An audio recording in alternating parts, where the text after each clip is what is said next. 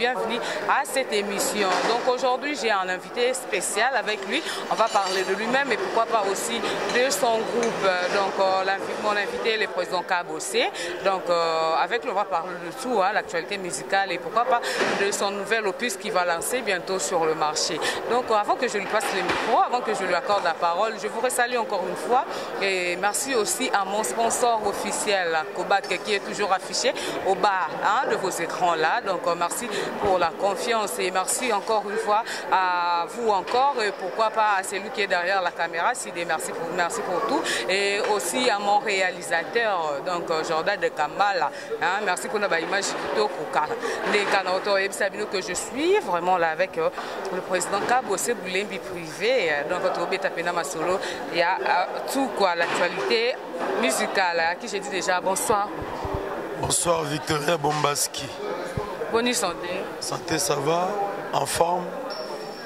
na profite osalue bainternautes bacomprendre nga gevoir euh, nauti boulot boulot esili sikoyo nasepela to lenga nalekaka na defase mwa dimi mpo lobi na ntongo na kozala studio mais bombaski la bomba a récupéré nkale goto donc euh, voilà quoi merci vraiment merci vraiment mpo ndenge ondimi koaccorde biso malgré tozwi ya pied levé mais ondimi quand même kofuye biso un mois temps na yo mpo to osolola boni évolution ya groupe jusque là ça évolue évolution eza bien dieu fait grâce makambo eza nango bien eza bangambo tondima eza bamétier na biso babulo na biso ya leo eleba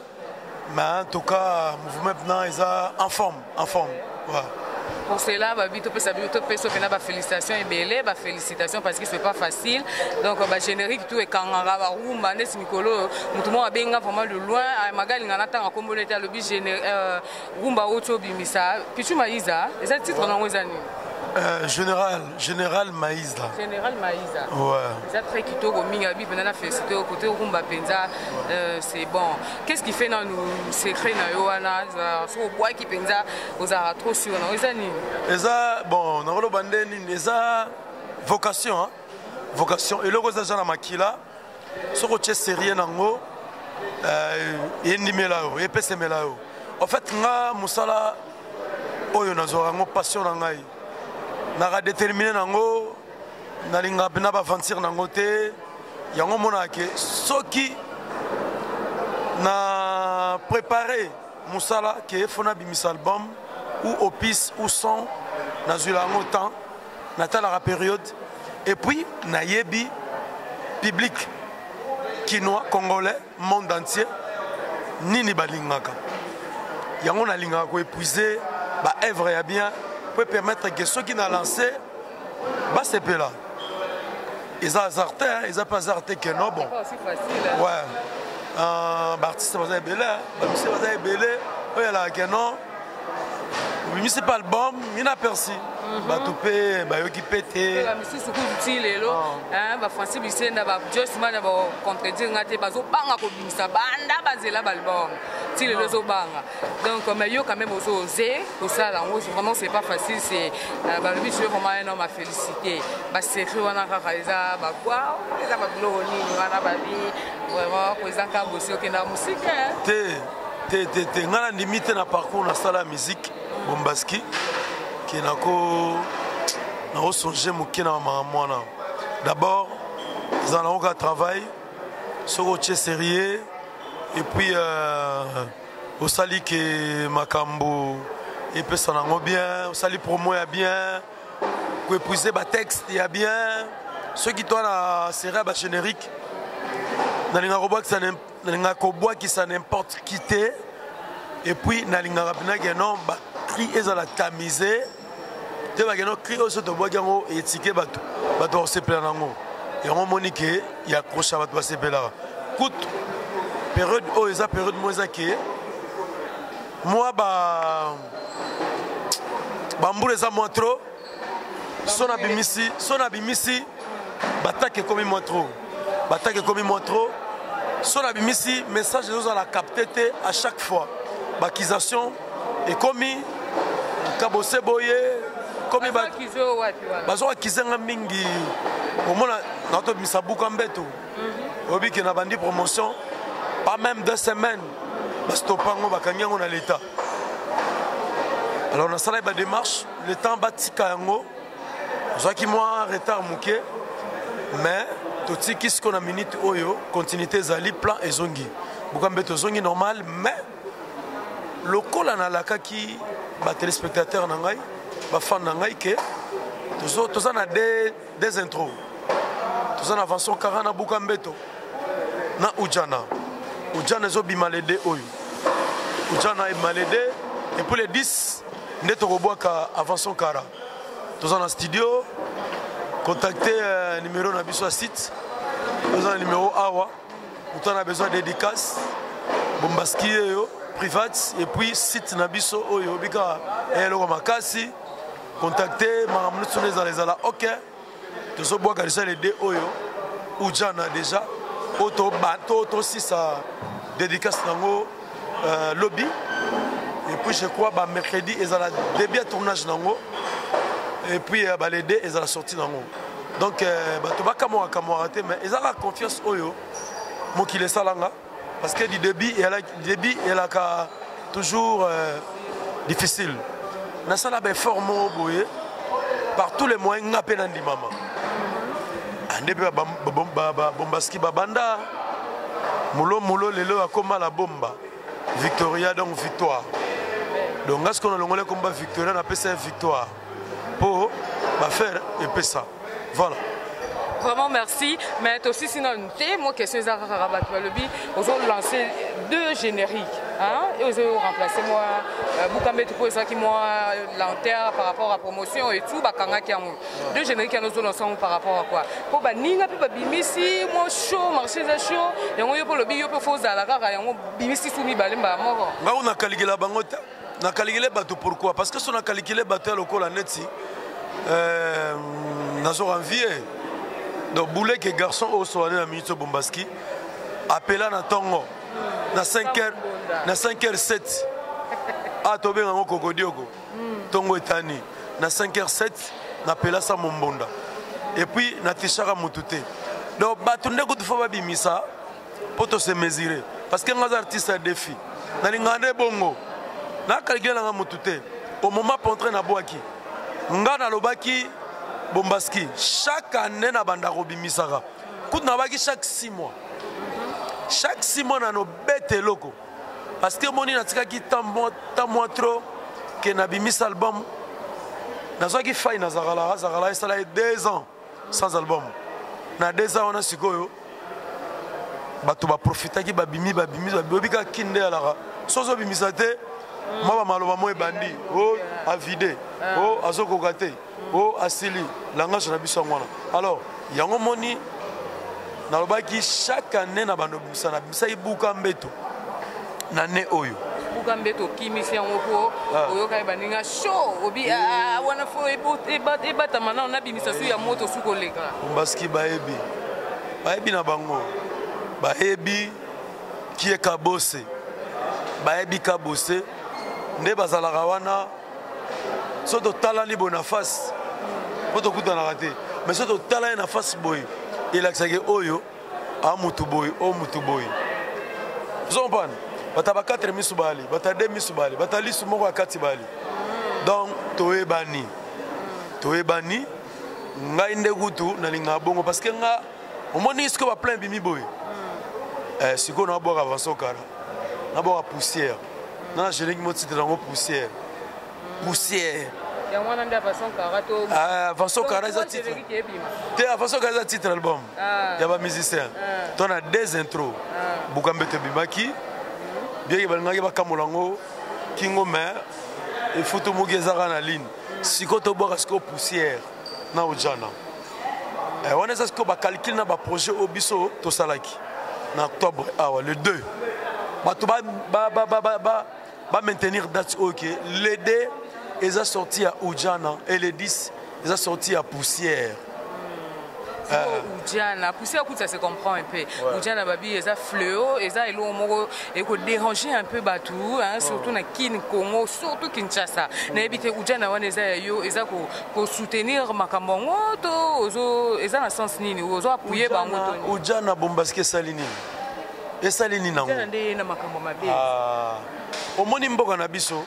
taba makambo oyo balingaka kolobelaka makambo ya boye me makambo important ezali oyo mboka fo esala oyo fo tosala biso baartiste nde toalaka boye ba, ba difficulté eza trop to se retrouvaka na ba œuvre na biso te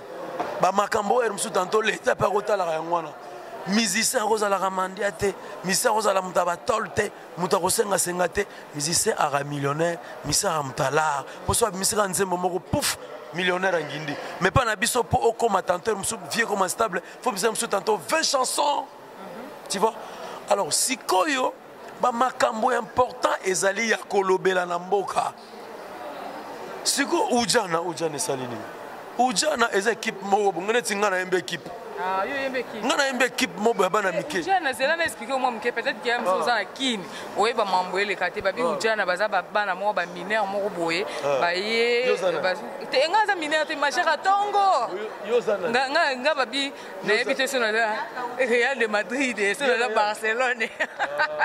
donc euh, bana moko boye ya mikie oyo bazolinga bazolinga kodétruire euh, donc avenir na bango nayebi te est ce que yo ozo appuye makambo yango parce que bazolata ba sans soutien bazolata ba bilamba ezanga biloko donc tout nyonso ya mabe mpo baexcite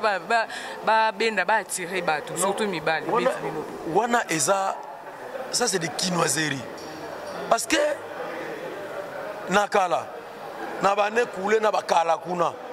kasi makambo ya bongo bana bongo mpe bazalaki ti mais mobutu akangela bango 18 heures babenga bango banani bandomingo bango banani ah. mama biso oui atiaka ba King, eh, kingabwa biloko moko boye genre moko boye banda ah. okanga bango ba 18 so bamoni oka na balabala bakangi ouais. ah. non au fait euh, au fait okoloba ndenge nini euh, soki moto alati soutien te hmm. il faut vere eh, mosusu tanto aza nango te r mosusu aza nango te so moto alati soutien te r mosusu tuna ye aza nde nango te ou soit mpe age akolata soutien mpe nani ekoki te nakosi nakosa ondire emania eh, ndire heure eh, mosusu tanto mpo eloko nga nayebi mwana alataka soutien mwana mwasi alataka soutien na age moko boye o heure mosusu tanto aboti libele ekwei mamele eh, mania mamele mayeno soki esala neti se développe ekwei e mosusu ekokota akolata soutien mais na ndenge ya ngita na ndenge ya logique mwana oyo aza ya moke aza na age moko bo soit 15 ans 14 ans 13 ans akolata soutien pourquoi parce que libele eza faire akolata soutien te ah, donc ujana euh, oyo oyembi wana elakisi ke bana kaka bocontinue kolata basoutien te ye bozalaka oh, bongo makambo important kolobela ezali ezaka te ah, ujana ujana eza équipe ya bajeune bajeune mineur neti nga eh. hein, neti nga mwana na nga ah. aza na ekolo ya ujana ozo comprendre sikoyo biso tobake abeta alemba te atika te baujana ozo comprendre nalanda bilenga ujana ememi nga na bunia nga nayebaki te ujana mwana ngo alalaka te nalanda bilenge telema nalanda bilenga mindule etelema sa soutien baujana yoka eza nde bana wana oyo bajoueur ya bajogo babeta balemba te mais sikoyo na kine eya nde eya na bato mosusu balingelaka bato bulu balingeli babana bato bulu keno donc soki mwana ya mwasi oyo aza moins age alati soutien te seke aza ojana ale sikoyo mboka leta mpe misu mbala moko te makambo ya kosala na mboka eza ebele batika mpe distraction mo makambo ya kosala na mboka eza ebele affaire ya ojana na grand boule eza équipe mm. ah, eza nde équipe oyo nga nayembi nga nayembi nde équipe ojana parce que coach wana aza membre na kati ya équipe na kati ya orchestre na ngai apesa ye mwa epakosi na ezala ngai geno te kabose fo oyembela ojana eh, yango eke bongo okompande kasi vraiment balobi eza équipe euh, ujana eza équipe euh, ya ba jeune euh, donc ba ba mineur bana mikie oyo bazobeta mais équipe yango eza eza na 20 mai Euh, donc eza ujana oyo wana bato baoloba te ujana ya équipe mais président nayebi te avason kara À part ko lancer ba oyo ozo bwaka wana album proprement dit c'est Bimba Mukoni. Album ya groupe euh, Avant son Kara. Avant son Kara ya, ya, ya ouais. Les albums à groupe mais bana mois d'octobre na fin. Ah. Yango to ko bwaka siko ba son nango na début. Donc le 2 na le 10 ils à la sortie to bwaki le 2 de 10 na fin du mois sorti nango album ah ya musicien ah, d'accord sikoyo euh, neti album ya musicien wana musicien nyonso tu aza mpa na yo aza na droit nzembo to yo moko oselectionne keke eza nde ezalaka tomonaka bapatron mingi azwi kaka mwa de de musicien mwa moto nsima moko atie bamisusu wana bazalaka important te eske mpano esala mabongo to motu nyonso tu aza na besoin aza na oblige otya nzembo non na trie ah. napesi bato banzembo oyo nde bawumeli na nga oyo baza na discipline envers travail na bango oyo bamérite nde bazwi banzembo oyo bakoti sika non bakozala juste mpo na baintervention mais normalement oyo napesi banzembo bato oyo bazomérite kozwa banzembo voilà aske mpe aza na nzembo aske aske akendaki azongaki lokola azongi na moment ya bien topesi ye nzembo topesi nzembo epai ya nani lisusu aviva na nzembo sensible euh, chico drumer tempo maître boba na nzembo loriana na nzembo et puis euh, topesi susu edo na mbonda aza na chanson euh, taonda obama aza na nzembo voilà vraiment c'est bien mais balobi vraiment euh, tokoleka boye te sans pour autant totuna yo parce que yo moko oza euh, propriétaire ya groupe kabose donc euh, bamurumeur bamurmure ezocircule un peu partout nayebi te mwana oyo josmani azosala nini awa ah ezo loba ma trop que esali mwa genre polémique moko boye est ce que ah, tomoni ye nzoka nde azalaki mpe awa ah est ce que euh, eza aza na accord ya koya na groupe kabose ou bien groupe ezalaka kaka ya bato moko boye bato mosusu baza na droit te non josmana alokola amopanzi sango ti aza attaché de presse na biso josman aza moto oyo azo azo azo azo parce que problème ya nini eza omoni monde ya média surtout bino ba chroniqueuse monde ya chronique bato bakomprena yango te ya des chroniqueurs ya des chroniqueuses oyo baza ke mosusu par sentiment par komona ke artiste oyo aza na bourre de talent ma na soutien te ana support te il faut koepole ye parce que ayebi koyemba ye bobina aza na bamakambo mais aozanga eloko moko boye mede ekoki koya vers artiste nga na koboya yango te nga na koboya yango te Josmana a d'abord un d'abord petite sœur na nga oyo nga nayebi ndenge akoli et puis aza petite sœur oyo atangi na efasique nga nayebi ndenge grand frère na obete bafilme bakende chik nga bongo na nayebisa nga bi yo josmania yo yo fo tanga nano afo banda mama bandulu oyo ti namoni jour moko bina ayebisi nga ke non grand frère vie na ngai ya kati ya kati esala ke no diplome yango yayela yanga diplome na ye ngai be alors vas-y vas-y nde eza wana akoma mpena chroniqueuse et en plus média molobeli et en plus aza gendarme te mais aza siko commando ya momi ambela mpe grenade donc mpo na kabosi ya kotumba kobia donc josmania aza na pointe aza molobeli azobunda et puis aa na coaching ye bango nde sikomoni ye asu forme bango balaka kombe balaka 5 ou 6 mm. bata eh, bango siko bango siko babata ratissage bayebaka yano keba monguna se akotaki wana kanga wana kanga na kanga na bu ayebi kaka nde ezalaka plan de guerre neti bosco kalami te tobwaka plan ye déjà il faut déjà na grand boule fo natinde déjà na, na seke banza eh, fakoma seke banza shoshoshosho ah adekatela nga nzete moko ntango oyaka mbaa moko yo oyebi voilà donc eh, josman aza na ye ayebi kaka donc eh, gendarme te mais commando Ah voilà. Merci mon président. Quelque euh, chose à dire euh? Ouais, merci de votre phone tour, Bolanda Bisso. Il euh, n'y a pas beaucoup de commentaires. Juste, Naro Baksaka Mouké par rapport à la question. que soki nakoma attaché de presse oui président oti oloba déjà eza na baorchestre oyo bajournaliste bakoma oya mpo na intérêt aye ayebi ke kaboso obwaka ye ayebi ke kabose omemi voyage mais s'il faut dire que non euh, komema motu voyage eza il faut soutien beaucoup de soutien lelo tokoma olandaka omoni ke moto abeta na zénith oke olandi ye osoutenir ye mpo oke zénith mais lelo ngai na soutenir kabose à 100 ozo comprendre pour dire que na assistaka ye na en tout na makambo na ye nyonso na badifficulté na ye nyonso nga josmane nazalaka tu comprends donc euh, c'est pas pour rien que non soki ye opesa raison que non josmane aza soldate aza, aza, aza gendarme aza euh, donc commandante donc voilà donc veut dire que nga na ndenge ya kisoda na nsima mandoki mpo na kabosi mais edérange bato te parce que matadi kaka parce que nga na travaille na ba orchestre ebele ata orchestre moko te memanga ata mbanja ngongo bamemanga te mais avec kabose aotambwisa nga bavoyage pour dire que non bino boyebi ke nawutaki voyage na ye yango naomona ye te bafani baokomela nga justement naomona ye te parce que nazali na voyage na kabose eza te ke non mpo kabose aza na bambongo ebele akendaka bazenit abetaka babexi banini non toza na droit ya kosoutenir bango baza bamusicien na biso baosala fierité ya bacongolais ozo comprendre lelo soki bato bavandi bayoka buka mbetu buka mbetu toyoka bavoiture sans monteur bato bayemba babina eza mpo na ye alors pourquoi pas tosoutenir bango donc toa na droit soutenir bango donc euh, wana eza baconseil bavie na nga bapesa nga bafa ya basket bavie na nga dadi mavungovungo le original eza nga pirate donc baamede makendi motema sanda moi wana eza baconseil na nga toa na droit soutenir bamusicien nyonso basala honneur mpo na biso en tout cas josmania nasepeli makasi na intervention na yo mais naza oblige nabomba yo nga nga foto solola mpenza ebele ebeleomba nga parce que naa na makambo oloba eza ebele parce que voyage ya mata de trouble bato ebele baloba n'importe quoi mais nao réserve mpe ebele mpo na bango tosolola mpenza ebele nalingaka ye nde na ntina ya solo namoni yango vraiment namoni yango esali babien ebele vraiment donc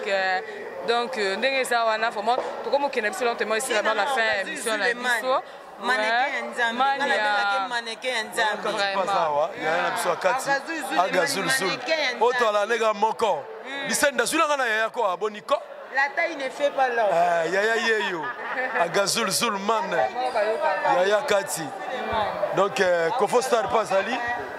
Kovo Star pas zalo baza ba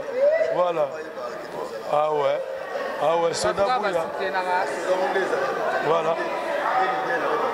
Voilà. Voilà. Ah ouais. toyei mambo ebele yo papa mokolo boye lofinga bana mike olobaka eloko te okosambwa yo naoswana na yo awa ah, toapa lidere te mbwa kanda soda makasi ya congo abunda bagere ya kala yo ne nani yo eloko te nayoki tata na yo okosietaka ndenge osietelaka bato toza kaka na yo merci beaucoup merci euh, donc euh, tokomokenda biso late mesi vraiment la fin ya émission na biso mais euh, président nayebi te quelque chose à dire na bafane na yo soki moto alingi azwa libanga ka ndenge ezalaka nayebi te akozwa yo ndenge nini euh, mwa programme ya mouvement toyebi te soki ezo évolue ndenge nini na ministre euh, nde toza awa semaine na suka yango nde tokokota mpo na clôture ya disque ya bamusicien alors moto ana besoin ya dédicace moza obligatoire te mais sala coutume moto aza na besoin ndenge ezala rage non euh, dédicace comme d'habitude ndenge ezalaka asomba nzembo akoki kocontacte euh, mwasi moko na nkombo ya victoire ou francis bisenda ou victoire omoni kaka nimero ti oyo eza fiche na se nimero ya site oyo kontakte mbala moko mbala moko banzembo ya danger ezali bavoko ya misiki ezali epuis bibundela solo ezali bozala desi te avanson kara ezoya na ba na bafere mosusu estce par rapport a wana nakota mwa moke crochet na bagénérique oyo ebimi générique nini esepelisi yo oyo mpe otire mwa biloko moko mpe oyo epate mpe bato na euh, baoyo oyo okobimisa en fait euh, nakoma nde nayeba te so ya défaut nakoma mpena na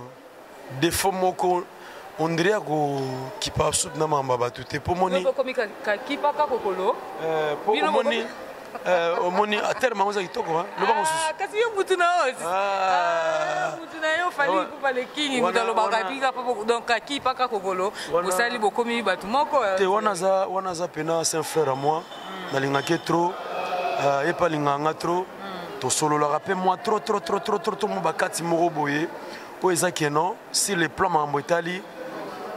oyo aza mama na biso tata na biso nani miziki miziki mpo na réussite esengi te kofinga esengi te kodiembelaka bato esengi te kolobaka mabe ya bato mpo batya yo kar esengi te keno opresipe kofinga après heure moko ozonga motu non pardon tokoma na wana te donc euh, oyebi kaka esise kabose tosote bapage wana normalement ndule soki olingi owumela tala babiso bakabose ngai na misia lelo te na misia kala na ndenge nini nabanda musique trop jeune auprès bayaya na ngai général defao bozi boziana werrason nazwa baleson moko boye yango esalaki nga lelo oyo na maintenaka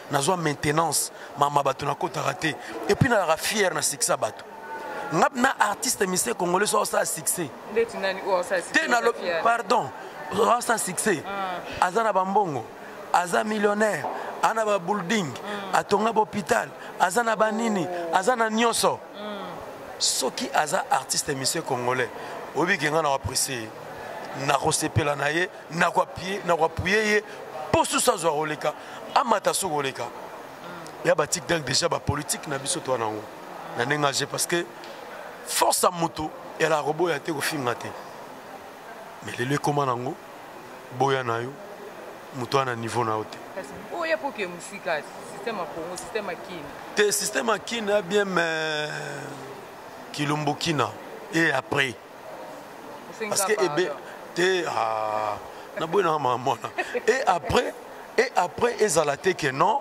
soki ndenge nini alors biso tobeta ndule na tranquillité kaka à la normalité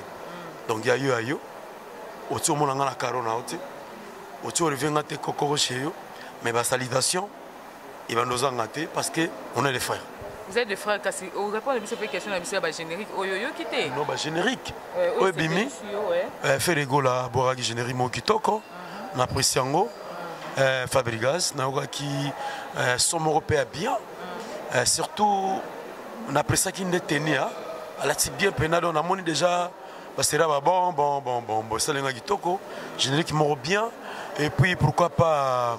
Handicap la merveille, mon frère à moi. asali mpe géniki moko très bien et conception ya clip conception scénario nasepelaki na yango namonaki so nano oh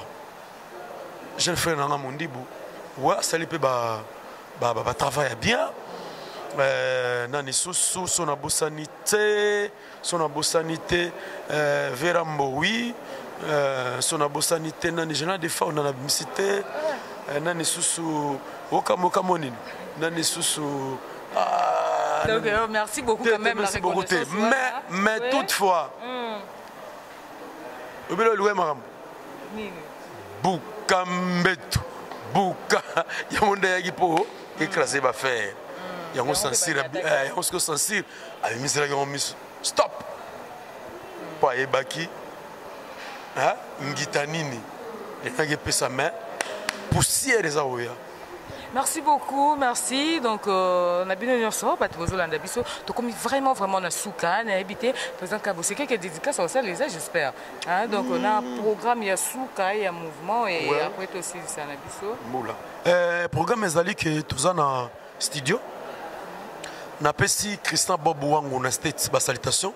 napesi producteur na nga ya orchestre oyo na sina ne contrat ya pendant 5 ans oyo amema biso na kenya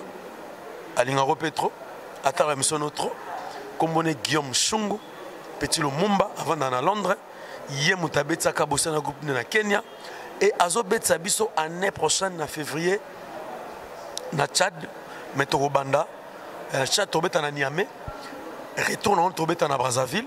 napesi madame euh, dorcas euh, la fille de buzz basalutations vendredi tozala na brazzaville mpona baémission naoyeloko mpe bombasi na francis bisenda vendredi toza na brazzaville mpona kosala spécial kabose mpona concert oyo toza nango na Brazzaville na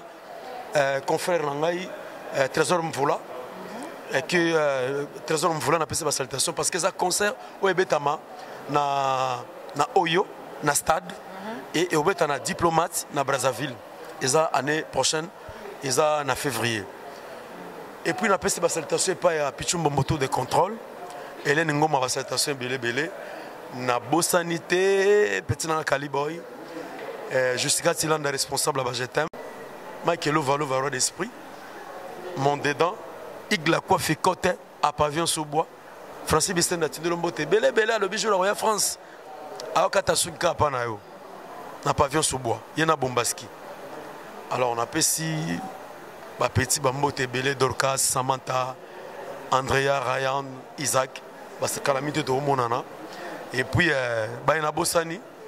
benita kimvolo na suisse basalutation rita zangu la japonaise na londres rebeka toto badiama nabosanaka te epuis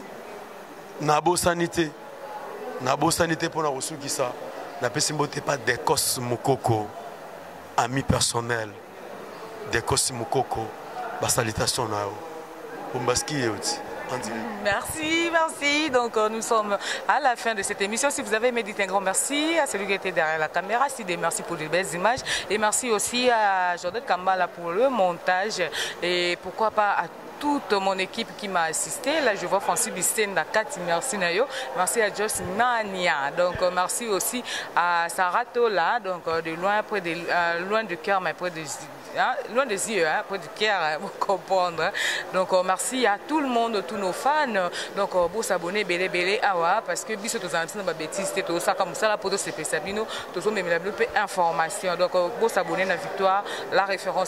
TV ekosala biso ba bien donc nayebisaka mpe bino soki boza na bacritique toujours bohésite te bolukaka biso nga mingi na banumero eza affiche wana uswat na victoire la bombas victoire ya la bombasi ntango nga mpe nakomi victoire awa nzambe victoire ya la bombaski euh, na page facebook na nga donc nakobongisa mpo na betisa bino susu mabaku te donc je vous laisse déjà euh, entre le bonne main de victoire la référence tv donc babi soki olongoli oyo omoni suku émission moko ya kala otali no stress hein? donc olongoli suku oyo otali suku mosusu bosabone mpe ebele parce que tosala bino kaka mosala kitoko merci à mon sponsor euh, kobac euh, donc euh, merci à toi hein? balobi yo zala zala awa merci merci à charlie moussampa donc euh, je vous aime trop je vous love trop bye bye mingi tolandaka victoire la référence tv victoire la référence tv tolandaka victoire la référence tv la référence tv vrai chéri masolo kitoko abetaka masolo ya bien asalaka kitoko ya foto cimetière te awa omoni bacelinga moto azotala na kati akoma mikuwa te awa ndenge oza ndenge oza ya foto ya ndako ndenge oza ndenge okozala tolandaka victoire la référence tv tolandaka victoire la référence